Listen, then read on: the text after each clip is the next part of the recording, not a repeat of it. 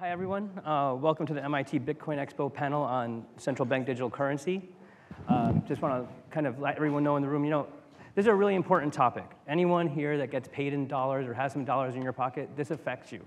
And so we're hoping today that we'll learn a bunch, and uh, more importantly, that you'll start following this project because uh, you're going to have a role and a stake in it.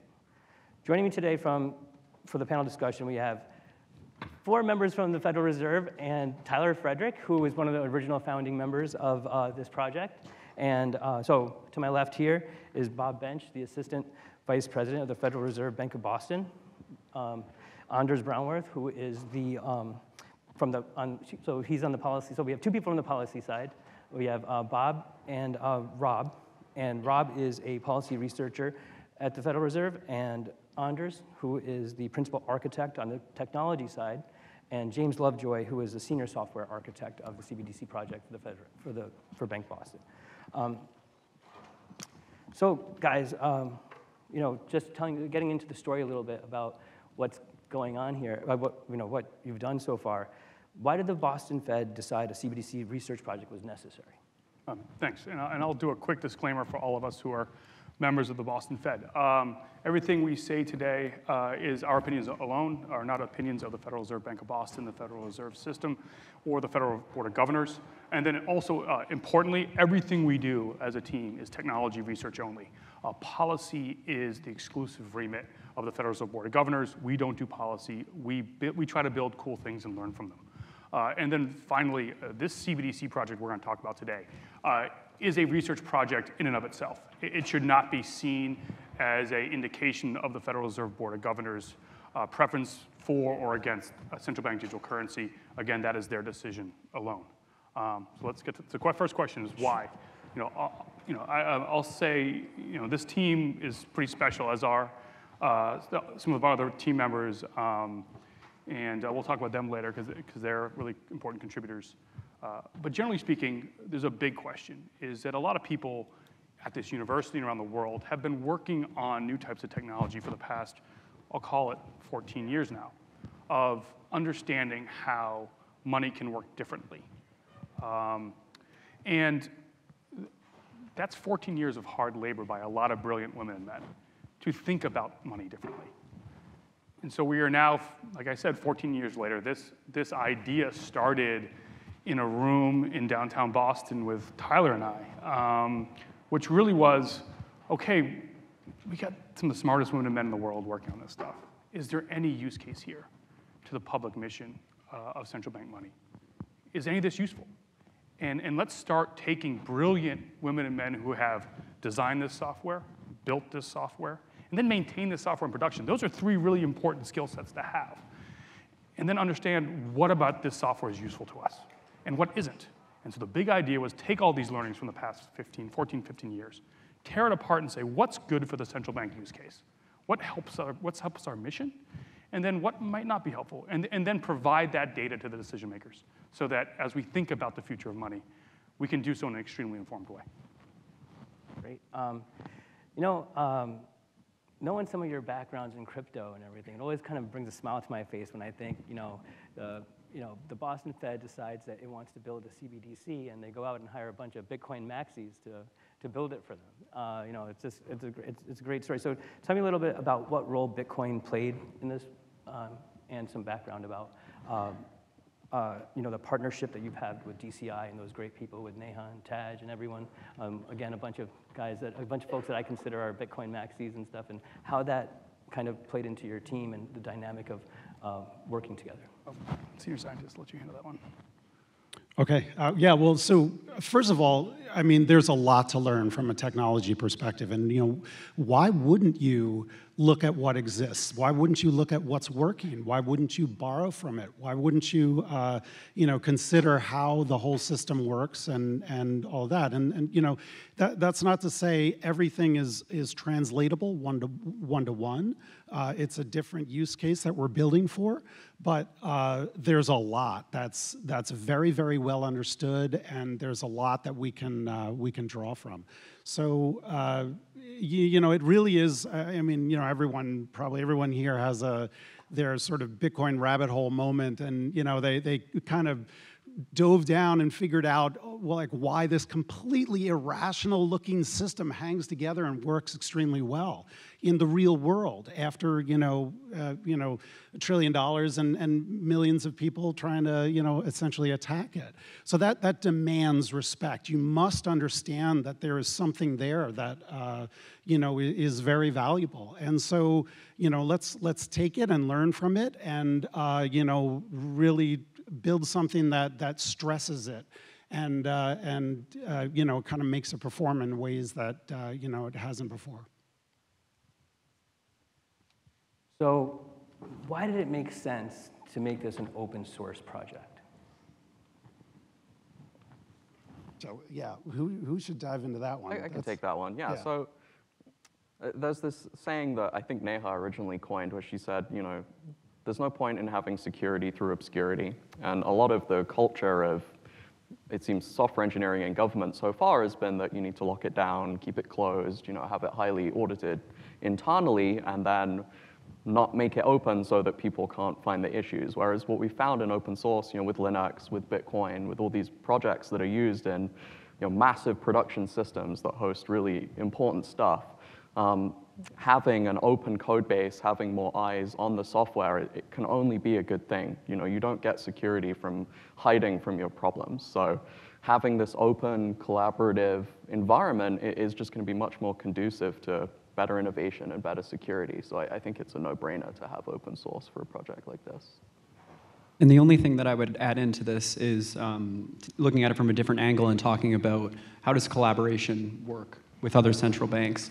I mean, I think one of the things that we take to heart is we need to evaluate whether or not this is something that we want or not. And we're approaching it not saying that we want to prove that CBDC is the right solution, but addressing it as could it be or should it be? So when we tie back to the collaboration part, open source allows us to work with other central banks as well as the bright minds from the private sector to build something um, and, and to ultimately answer this question of is a CBDC something that the United States should follow through with or is this something that we determine that there are other solutions that do address maybe the problems that exist currently?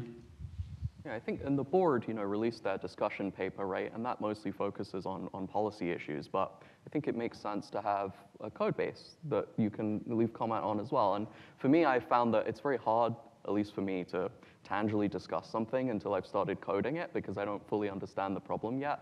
Um, and I think that's true for anyone working on this. So if you really want to comment on CBDC or come up with an idea, you really need to you know, get your hands in the code and, and start writing stuff. So. Cool. So we're so used to government projects coming in, you know, over budget and uh, not enough results, but your team actually accomplished something here where you gave us, instead of one design for a CBDC, you gave us two designs. And so I was thinking, like, so how did this happen? Like, you, did you start with the atomizer designs, find the bottlenecks, and start thinking, like, hey, there's better ways to do this? Um, yeah, uh, so so I'll, I'll, tell the story. What what happened? You know, pretty early on. We are looking at the system and saying, okay, let's let's take uh, what is essentially a very monolithic system. You know, Bitcoin is essentially a daemon that that does the the chatty network. The uh, you know, it's it's dealing with uh, signing and everything, checking blocks, recording everything. It does absolutely everything in one daemon.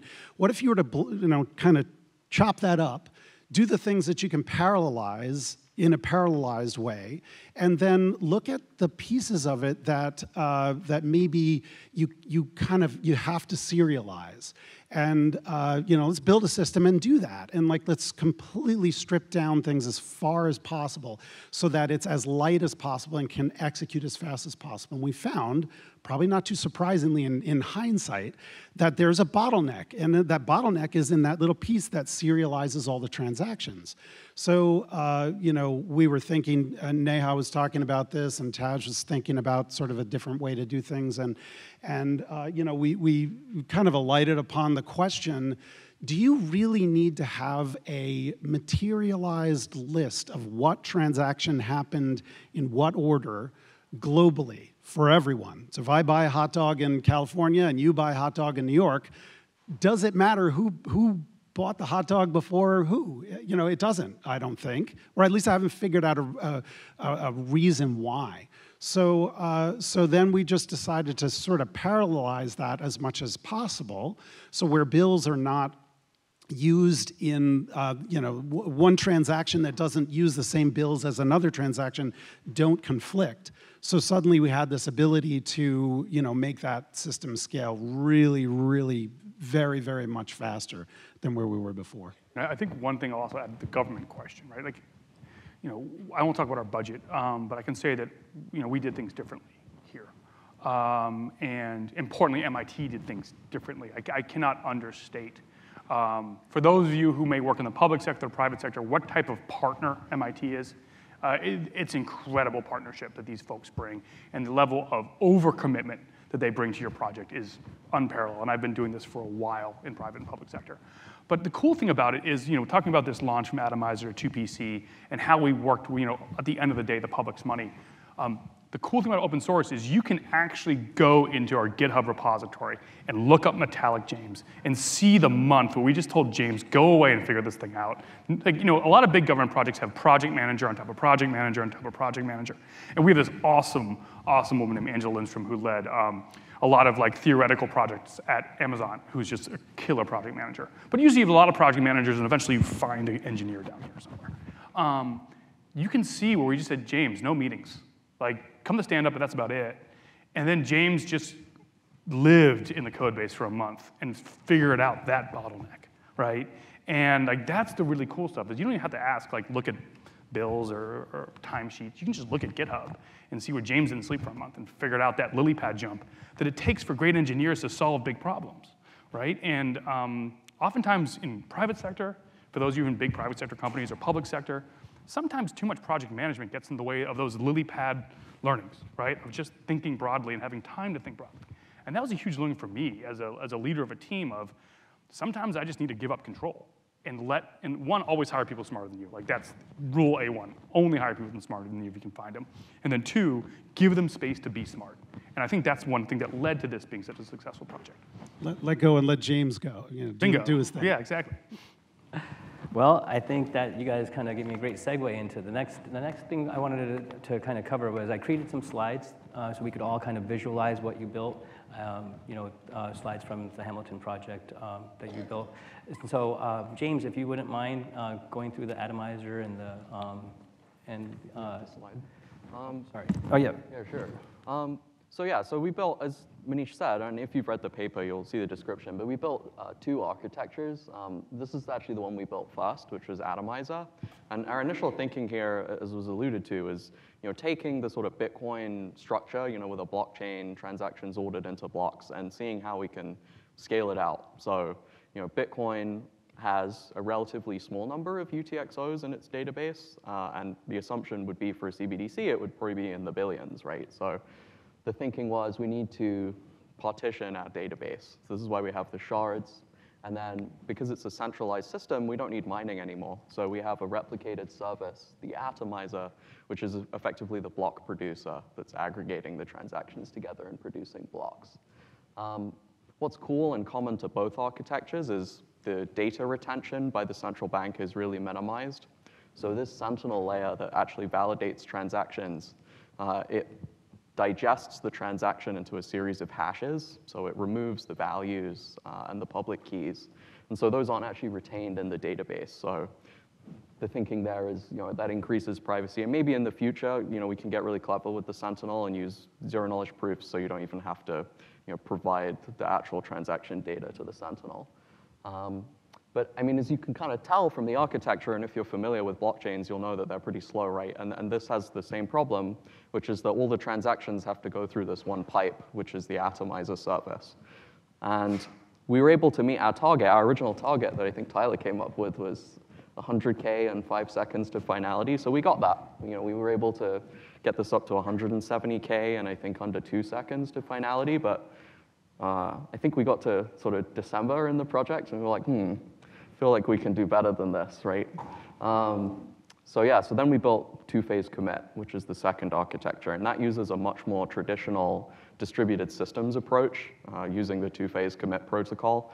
And the key point there is just to remove this atomizer bottleneck. So there's no longer a global ordering of transactions. Uh, transactions are only ordered relative to each other if they are submitted at the same time and they conflict. So that means you can parallelize transaction execution by just increasing the number of partitions in your system. And on the assumption that you know, people aren't all paying the same person, um, you can scale out that way. So in the end, that one got, I think we tested up to 1.7 million transactions per second with less than one second tail latency, but we only tested it out to 32 shards. You know, if you tried it with 64 or 128, it would get higher than 1.7 million. So this is a really future-proof architecture. You know, in the future, if people are going to be doing IoT, you know, IoT with CBDC or you know, microtransactions, who knows? Theoretically, you could scale to accommodate it. The only question would be, I think, cost. You know, how many servers do you need? How much of AWS is being consumed to run it? What was the AWS bill on this testing? You, you don't want to know. Yeah, that's, uh, oh, actually, that's a good question. You brought up requirements. Like, I mean, Tyler kind of, this was a cold startup. Like, this was absolutely a cold startup in government, um, which is rare. Uh, and we have to thank our leadership at the Federal Reserve and the Federal Reserve Bank of Boston for supporting us on that, on, on, on building a true cold startup in government. But I mean, Tyler, do you want to talk about requirements and how you kind of came to those numbers and what you thought about with this, how this thing should be built? Yeah, I, I think one of the um, one of the aspects of this project is we wanted to solve hard problems, right? You know, when when you get an opportunity with a lot of greenfield in front of you, you want to solve the hard problem. So we wanted to figure out how can you do something that's extremely scalable. So like James said, you know, let's try to fit everything onto the layer. Let's get a performant layer one, right? Like let's not rely on net settlement or you know layer twos or rollups. To start with, let's make a performant L1. Let's get to a minimum of 100,000 transactions per second. Go from there, you know, and then you know we said, well, what if this enables crazy stuff like micropayments, or you, you know, you pay you know, a few cents for a song or a news article or something like that, we could get way higher than 100,000 transactions per second. Um, we wanted something that was nearly instant, right? Um, you know, we have a lot of instant payment methods. You know, you have your credit cards, and you know, you can use the analogy to cash, right? Obviously, the cash payment is instant, uh, but we wanted to see if you can do something that settles those payments uh, within five seconds or basically instantly. Uh, you know, as we eventually got to. Um, we also wanted to look at security, right? You know, this thing is, you know, if, if, a, if a central bank were to hypothetically launch something like this, it would be hacked at a lot, right? You know, this would be incredibly sensitive, and you can't have a system like this failing. Um, so security was, uh, uh, was an intense priority for us as well. Um, so, you know, this is, it, was a, it was a cool opportunity to kind of think, to take a step back and say, all right, if we, you know, kind of taking the things we learned from crypto, you know, the folks in crypto, we've had the opportunity to move fast and break things. And, you know, you can't really do that with the US financial system. Um, so this was a cool opportunity, being a technical research project, to take a step back and just, you know, brainstorm what is possible. Um, and that was, that was one of my favorite aspects of this project. Um, yeah, so I put the throughput slide up there, and you know, considering that, you know, um, it looks like you know, there may be, that, you know, according to James, I think we, we could this could go a lot faster than 1.7 million transactions per second. Is that? Yeah, I mean, well, you can see we tested it out to 32, but if you look at the trend, it's not seeming to slow down. So I think if you try it with more, it would go faster. The other thing to consider is, you know, we didn't spend a ton of time like really deeply optimizing the code base. You know, if we put this in production and you had like a team of you know five or ten performance engineers really trying to get as much as possible out of it, it would probably go even faster than this. I mean, this is research code right now. So. And that's what that's a good thing to just segue there, James. This is open source code. This is truly free and open source under the MIT license. So if any, we have any performance en engineers here or any with lots of extra AWS spend to do and you want to test that and push that up higher, we encourage you to engage in this open source effort.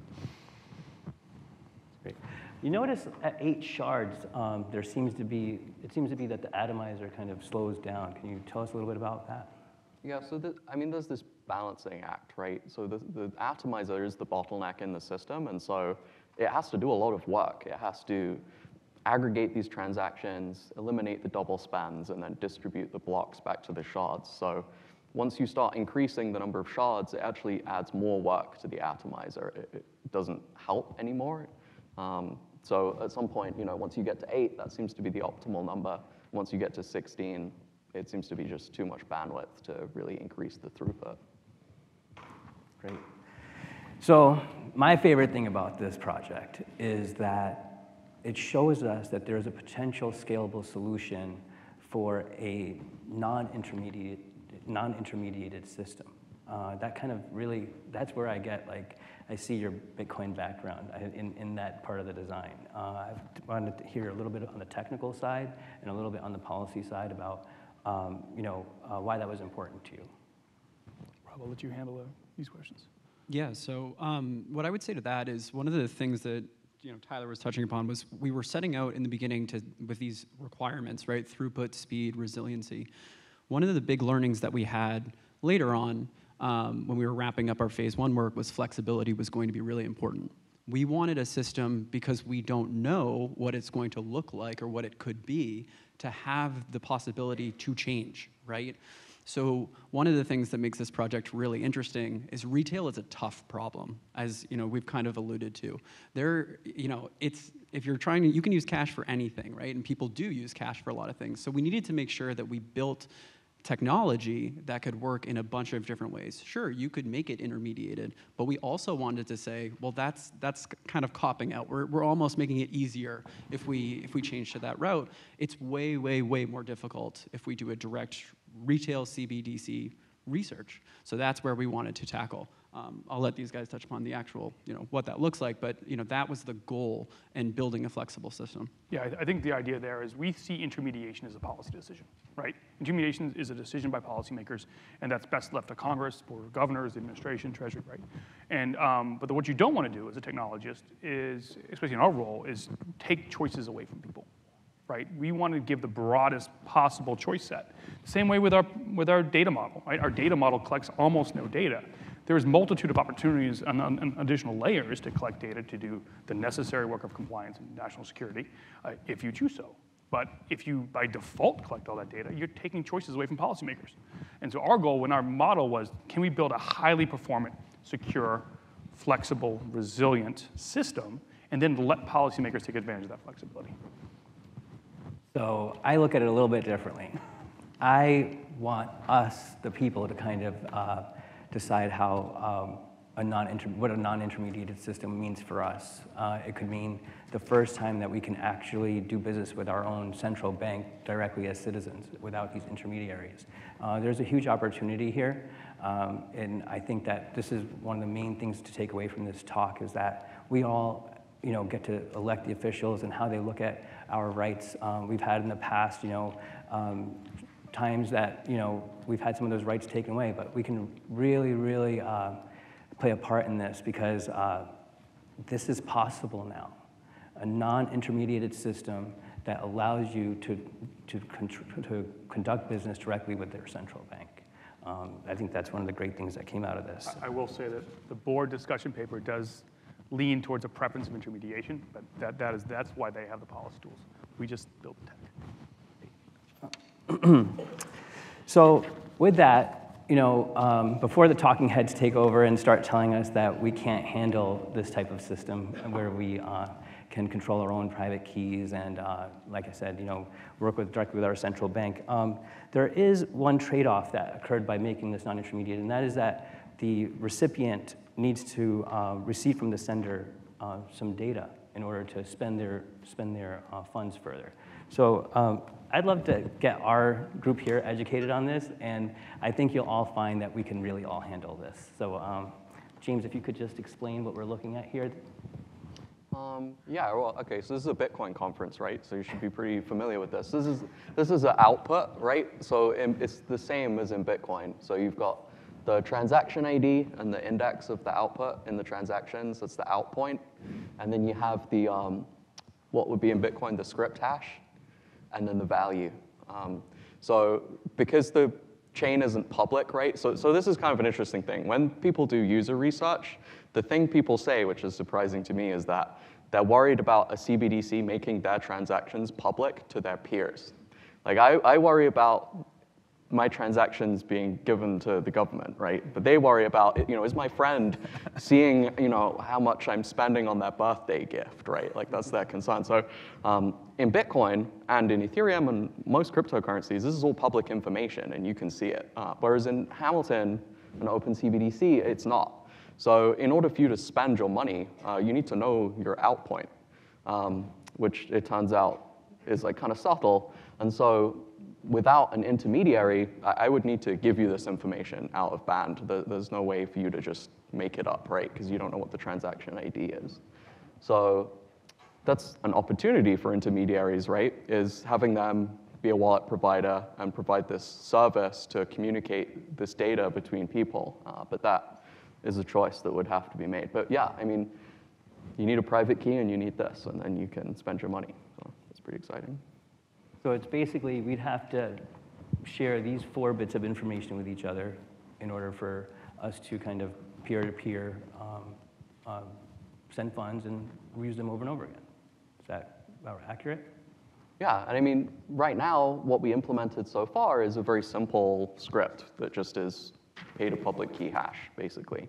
But it could be arbitrary, and you know, we're looking into smart contracts, we're looking into you know, different types of scripts and the sort of security issues, usability issues around that. So the sky is really the limit, I think, in, in transaction semantic sense. What was the biggest challenge in creating like a non-intermediated system? Like what were you thinking about when you were thinking like, well, this needs to work in either way? Well, I'll just take on. Yeah, like the, so you, you might you might stop and say, okay, well, you did these things because of X, Y, and Z. We did we did most things that we did here to make it fast. We got rid of this some of this data because it's faster not to have that encumbered in the middle of the system.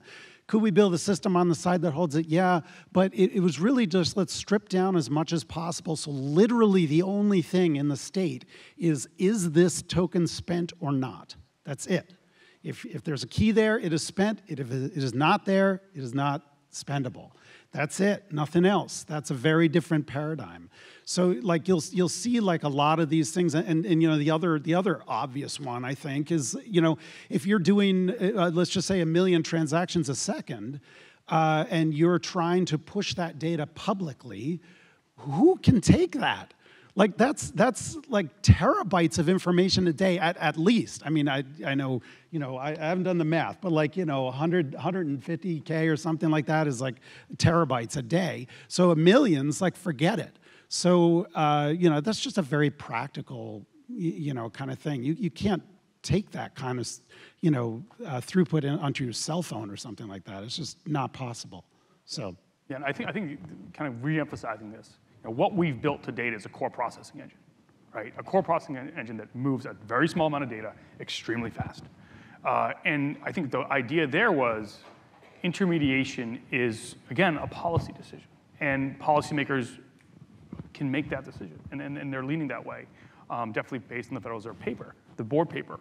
Um, but you know, I think assuming that really can limit your thinking, the same way we approach the compliance question right? The Bank Secrecy Act, you know, is a fairly fixed thing that happened in 1970, in early 1970s, right? And so thinking, you know, trying to take brilliant software engineers and saying you must, from the start, think about that, really can limit how limit your technology options. And these are all things that are solvable in additional layers if policymakers want to put these layers on top. But really focusing and just being, I mean, this is like any kind of software development. Just thinking about what are the absolute North Stars that you need to think about when you're building and focus on that. And just don't be distracted by anything but your North Stars. And then later, you can always build things later on. But you know, I think this team did an incredible job just keeping their heads down saying, how can we take everything we've learned over the past 15 years and build the most secure performance system possible? And, and this is the result.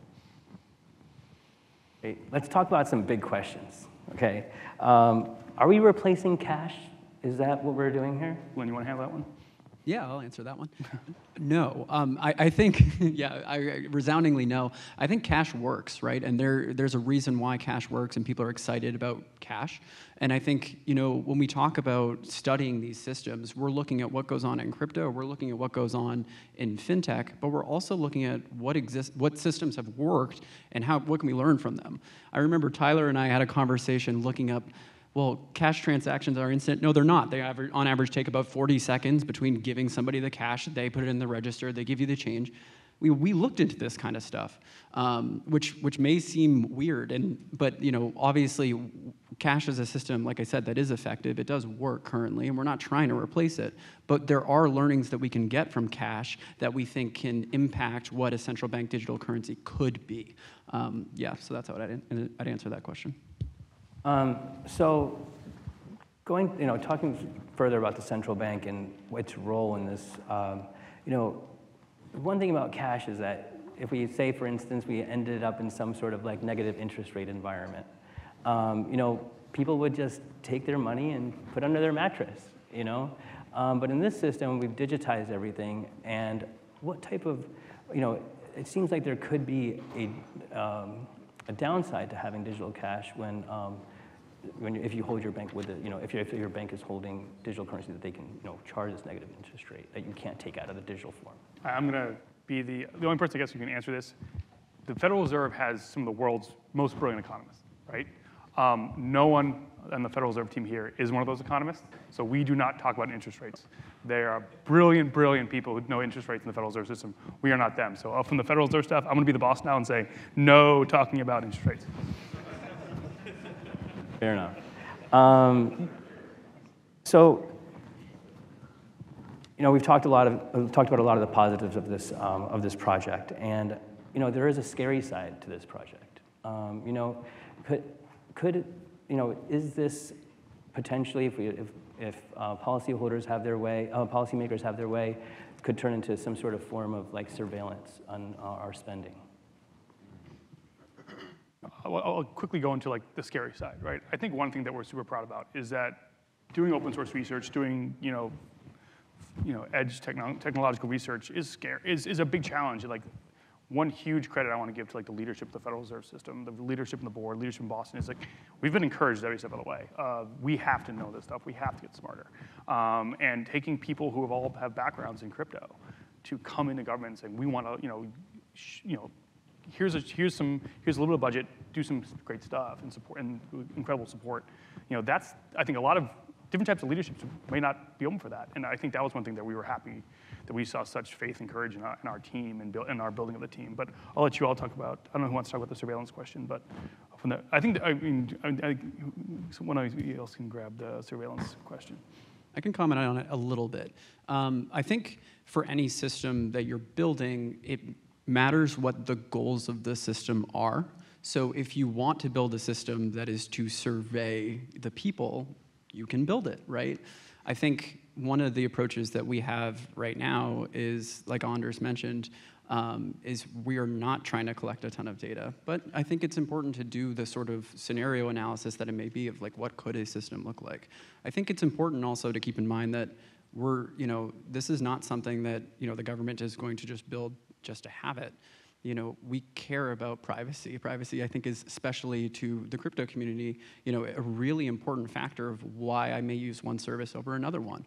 So, you know, obviously, you know, surveillance is a big concern, and I think it's important to kind of take that input in and say, what, how can we build the best system possible? So, um, you know, surveillance is tough, and there are other central banks that may have that agenda, but right now, it's not being one that's communicated to us. And, and, you know, all we have to go off of is, like I said, what are the goals and, you know, where do we get that feedback? So, yeah. I think one thing I would add is there are a bunch of potential objections to a central bank digital currency, right? And those come from people with a wide variety of backgrounds, right? You have policymakers, you have economists who don't like the idea of a central bank digital currency. You know, we're at a Bitcoin conference, so I bet a number of us here probably don't like the idea of you know, the government researching a central bank digital currency. Um, you know, I think it's super important that you know, we don't stick our heads in, in the sand and just kind of ignore uh, the changing world around us. And I, I, think that's one of the great things that this, the, the, Fed team, the Boston Fed team is, is doing. They're working on the technical side. And, and I think it's really important um, you know, sometimes you hear, well, policymakers need to do the policy research and technical guys need to do the technical research.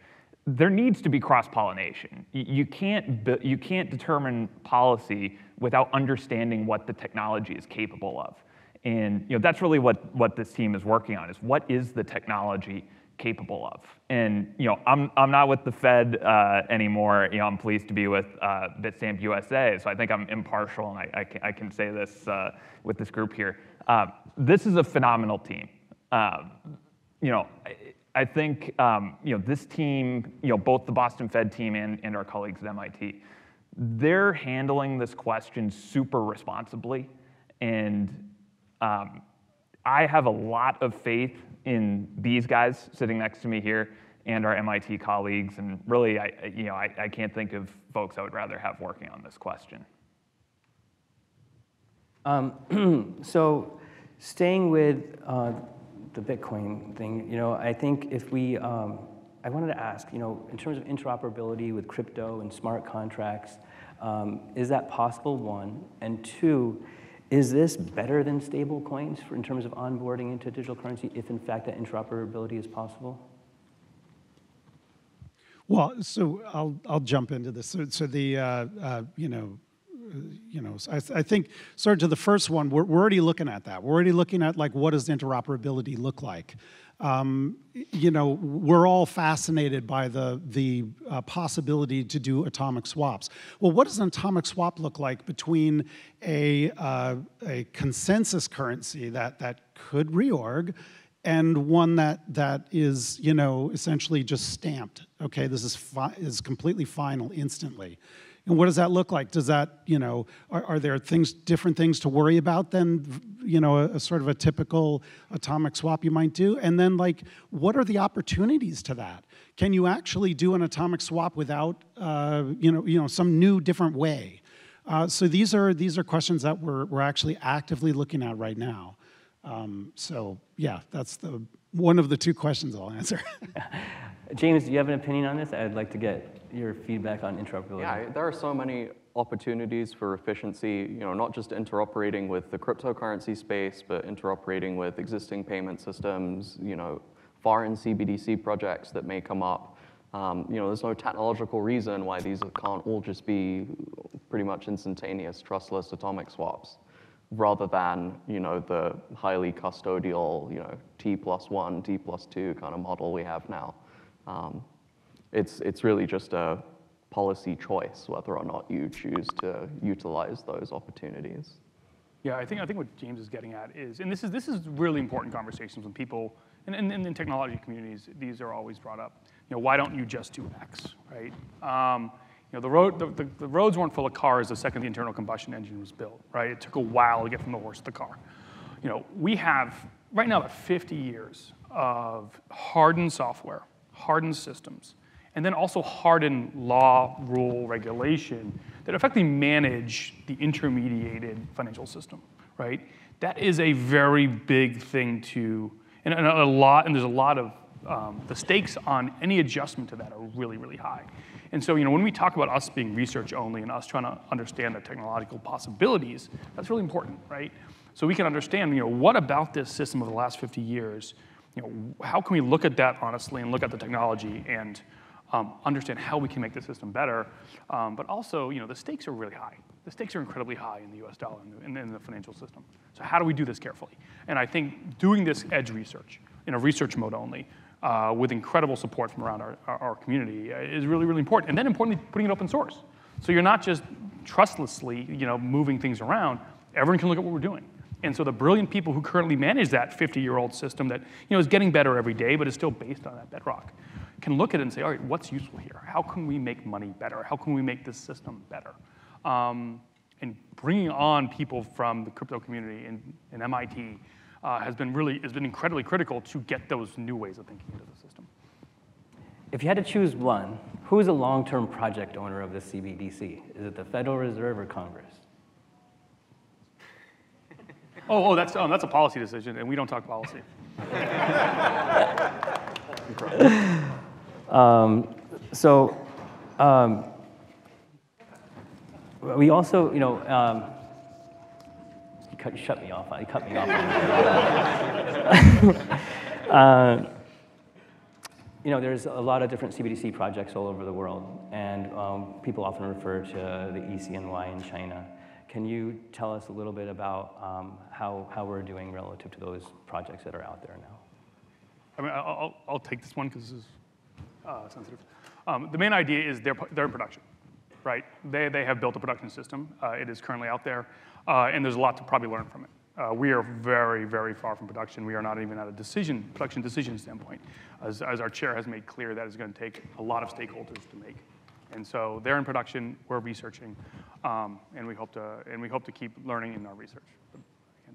Well, I had a bunch more questions, but we're out of time, and I just want to thank you all for, for joining me. Uh, I also want to make one last uh, comment to you folks, and that is that um, I think it's going to be Congress that's going to make a lot of these decisions, and that makes you the Dow of what happens with CBDC. We need people to be informed. We need people to talk to people that aren't informed and make sure that we're electing people that want to preserve our rights because giving them away is also our fault.